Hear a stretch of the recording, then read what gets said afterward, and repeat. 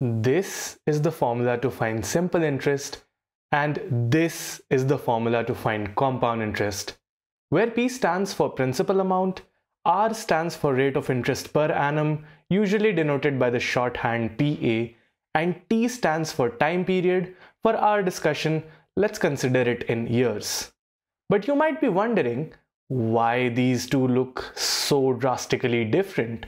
We will find that out in this video, but before that, some context. Suppose you're in a situation where two of your friends, say friend A and friend B, ask you to lend them some money and they promise you to return the amount after the same time at the same rate of interest.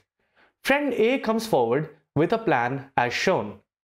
Principal is P, rate of interest is R percent per annum and time period is T years. So the interest after T years would be P times R times T over 100, which we are denoting by uppercase I. This is simple interest, isn't it? Friend B comes up with a different strategy altogether.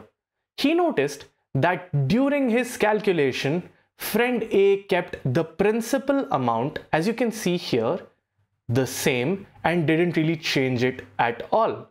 He was like, if we are getting some interest after first year, as we can see here, we should update the principal amount by adding the interest generated after each year to get a higher principal which will further generate higher interest. Let's see this in action. To begin with, we have the principal amount as P and rate of interest as R percent per annum. Let us calculate the amount received after year 1.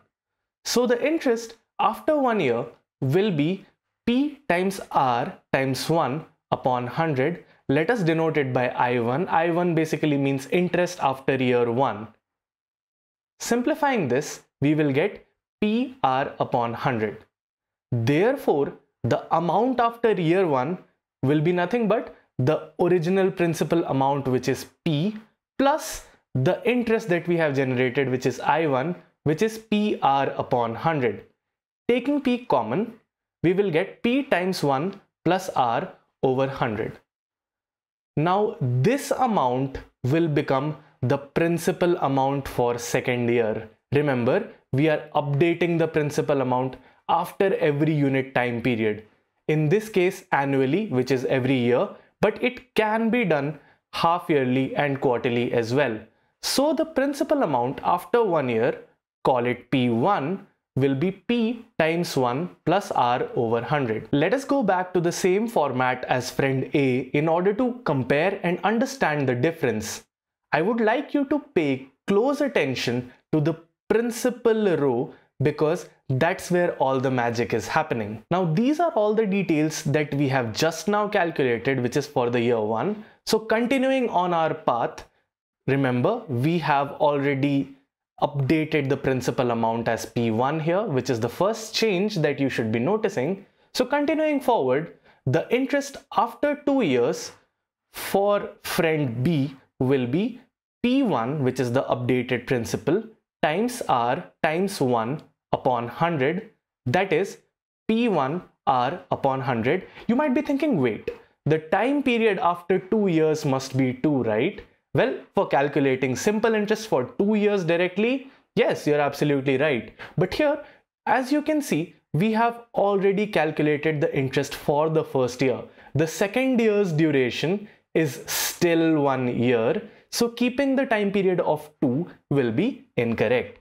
So the amount after two years will be the principal amount after one year that is P1 plus the interest P1R upon 100. Taking P1 common, we get P1 times 1 plus R over 100. But remember, P1 is P times 1 plus R over 100. Substituting which, we will be getting this particular expression. Remember, this is the same thing multiplied twice.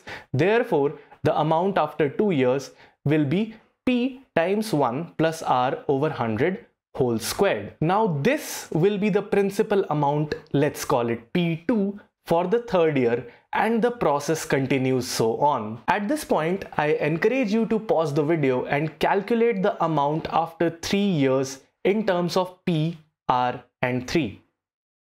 Assuming that you have given it a try, is it P times 1 plus R over 100 to the power 3? If so, you're absolutely right. But this calculation is too cumbersome and difficult. It would have been so nice to have a formula to directly find the interest after t years, isn't it? How about we find it out by our observation skills?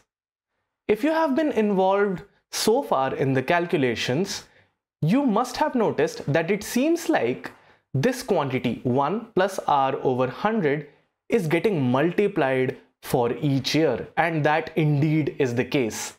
I highly recommend you to try to calculate the amount after fourth and fifth year to really solidify this idea.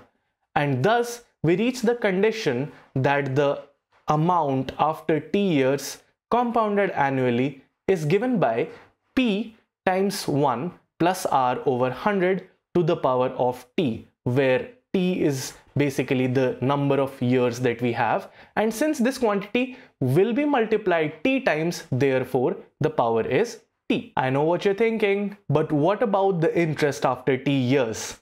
So for that all we need to do is subtract the original amount p from the amount a and hence we get p times 1 plus r over 100 to the power of t which was nothing but the amount after t years minus p.